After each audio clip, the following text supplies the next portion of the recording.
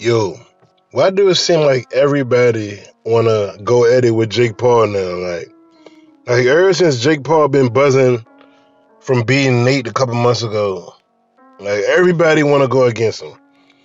I didn't even know Tyson Fury had a brother. I did not know. Him. So basically, Jake, his name buzzing. First, the game wanted to go at him. Now Tyson Fury, little brother basically saying Tyson said, "Look, I'll put up any amount of money you want. Have a boxing match with my brother."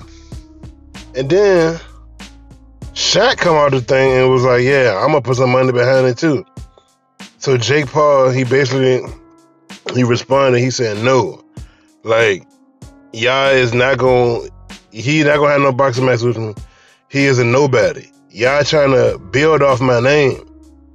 Y'all like y'all, y'all trying to get clout off my name.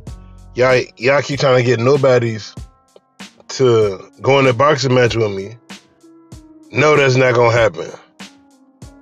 That's that's, that's basically what he said. Like it, because he just he was on Triller for the longest. Now he switched to Showtime Sports.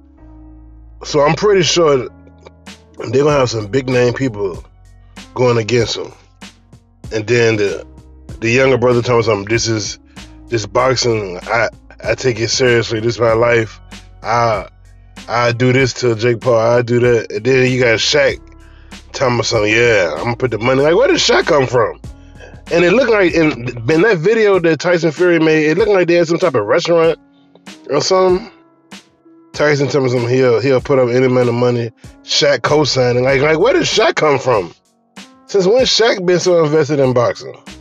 This whole thing is confusing, man. But I don't even know nothing about Tyson Fury, brother. So I don't even know what's his skills. So I'm gonna just say Jake Paul will whoop him, man. Which I think about is crazy nonsense, man.